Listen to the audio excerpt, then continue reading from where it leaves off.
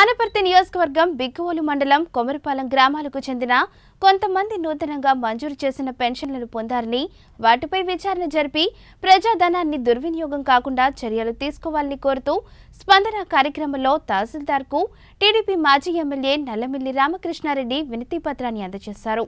ఈ మధ్యకాలంలో సామాజిక పెన్షన్లు పింఛన్లు పొందేవారి వయోపరిమితి అరవై ఐదేళ్ళ నుండి అరవై ఏళ్ళ వరకు తగ్గించడం ద్వారా కొత్తగా ఆరు లక్షల మందికి పెన్షన్లు కేటాయించారు.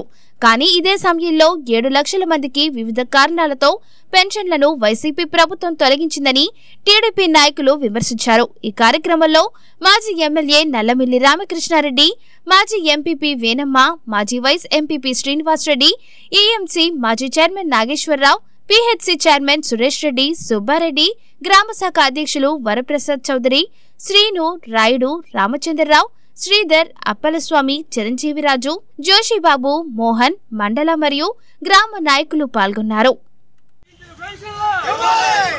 రేషన్ కార్డులు వెలిగించిన రేషన్ కార్డులు వెలిగించిన పెన్షన్లు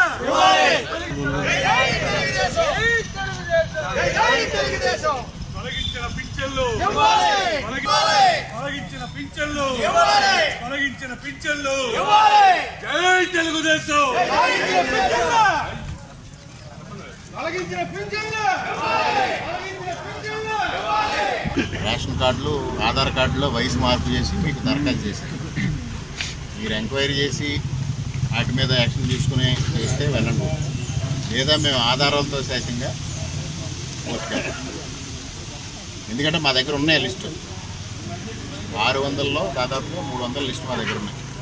ఒక్కొక్క పెన్షన్దారుడి దగ్గర ఒక్కొక్క దరఖాస్తుదారుడి దగ్గర ఐదు వేల నుంచి పదివేల వరకు వసూలు అంటే దాదాపుగా అరవై లక్షల రూపాయలు స్కామ్ జరిగింది దీని అది మీకు ఇప్పుడు మేము ఇస్తున్నాం స్పందనలో రిప్రజెంటేషన్ దాని మీద యాక్షన్ తీసుకోవాలి.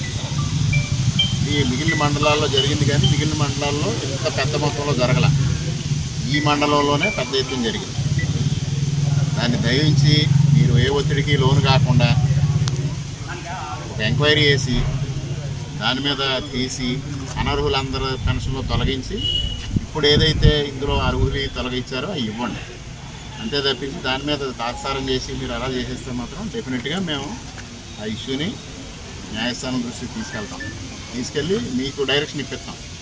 ఆ తర్వాత మరలా మీరు ఎలా చేశారు అనేది మా మేము ఏం చేయొద్దని ముందే చెప్తాం. సంక్షేమ పథకాల్లో కోత విధించడం కోసం రాష్ట్ర వ్యాప్తంగా అనేక కారణాలు చూపించి రేషన్ కార్డు తొలగించడం జరుగుతూ ఉంది. ఇవాళ రాష్ట్ర వ్యాప్తంగా ఇరవై లక్షలు రేషన్ కార్డు తొలగించడం కోసం సంఘం సిద్ధం చేయడం జరిగింది. అదేవిధంగా రాష్ట్రంలో ఏడు లక్షల మందికి పెన్షన్లు కూడా తొలగించడం జరుగుతూ ఉంది.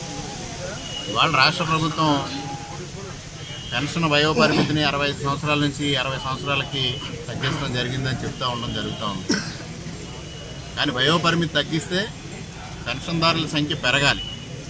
కానీ దుర్మార్గంగా ఇవాళ పెన్షన్ తొలగించడం జరుగుతూ ఉంది. ఇవాళ మూడు వందల యూనిట్లు దాటి సంవత్సరం మొత్తంలో ఒక నెలలో కరెంట్ ఎక్కువగా వినియోగం చేస్తే పెన్షన్ తీసేస్తూ ఉంటున్నారు రేషన్ కార్డు తీసేస్తూ ఉంటున్నారు. కుటుంబంలో ఎవరికైనా ఫోర్ వీలర్ ఉంటే తీసేస్తూ ఉంటున్నారు. ఈ ఫోర్ వీలర్స్ ఎవరికి ఉంటే పెన్షన్దారుల్లో కానీ తెల్ల రేషన్ కార్డు హోల్డర్స్లో కానీ వాళ్ళు ట్యాక్సీగా నడుపుకుంటూ ఉంటే ఉంటుంది. మరి ఇతర రాష్ట్రాలకి ట్యాక్సీలు వెళ్ళాలంటే దాని ఓన్ పర్మిట్ తీసుకోవడం జరుగుతూ ఉంది. ఇటువంటి పరిస్థితుల్లో వాళ్ళ పెన్షన్లు వాళ్ళ కుటుంబ సభ్యులు పెన్షన్ తీసేయడం రేషన్ కార్డు తీసేయడం జరుగుతూ ఉంది. మరి ఎవరైనా హౌసింగ్ లోన్ కోసం పాన్ కార్డు అప్లై చేసి ఉంటే వాళ్ళకి పెన్షన్ రేషన్ కార్డు తీసేయడం జరుగుతూ ఉంది. ఇవాళ ఇవన్నీ కారణాలు ఈ విధానాలు ఎందుకు ప్రవేశపెట్టారు అంటే ముఖ్యమంత్రి గారు రోజుకొక సంక్షేమ పథకాన్ని అనౌన్స్ చేయడం జరుగుతూ ఉంది. ఆ భారాన్ని తగ్గించుకోవాలి.